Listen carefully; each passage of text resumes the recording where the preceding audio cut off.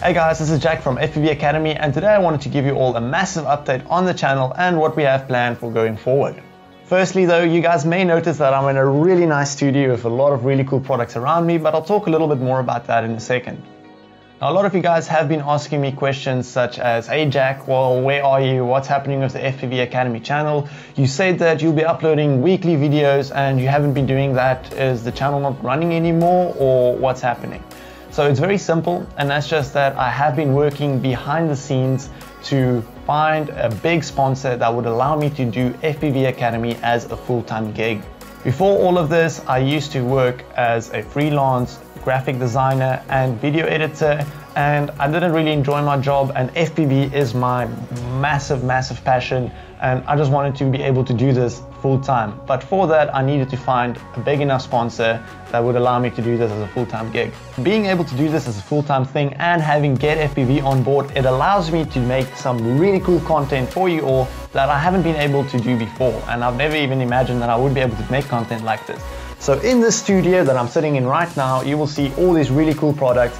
And what I'm gonna be doing here is talk about all these products more in depth. So I have goggles here, for example, with the Furious True-D receiver on it, and I'll be making a video just focusing on the Furious True-D, talking about it, giving you the pros and cons, and just if you're thinking about buying it, just giving you the rundown of whether I think you should buy it or whether I think you shouldn't. Just as easy as that. Now at the same time though, I will be working on the FPV Academy channel where I'll be uploading two weekly videos. Now I know that I've said in the past I'll be uploading a lot more weekly videos and I wasn't able to stick to those, but I just explained why I wasn't able to. This time though, I will definitely be uploading two videos every week for FPV Academy. The first one being the how to fly FPV video where we teach you guys how to fly FPV and the second one is a drill video where we do a nice drill that you can set up in your own flying spot to practice the how to fly video that we did earlier that week. So those two are the only videos that we will be focusing for FPV Academy, no more other ones, that's it.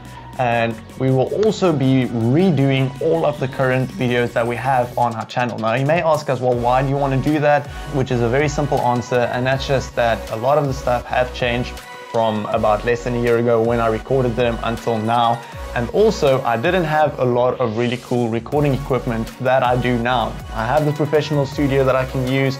I have a lot of cool camera sliders and Steadicam grips, and I'll include a backstage shot to show you guys just what I have set up here. And I didn't have access to that before. And now I'll be able to do a lot more high quality professional production videos. Now this is a lot of exciting news and I just wanted to thank each and every single one of you because without you guys, none of this would have been possible for me. Flying FPV is my passion, making videos is my passion, and because you guys are watching my videos and supporting these videos, you are the sole reason why I'm able to have all of this. So if you are one of the very early followers from where I just started flying onto liftoff, when I did my first FPV flight, transitioning from liftoff, all the way to where I am right now. If you've been supporting me through this whole entire journey, thank you so, so much. I truly mean that, and I am always thankful for your support.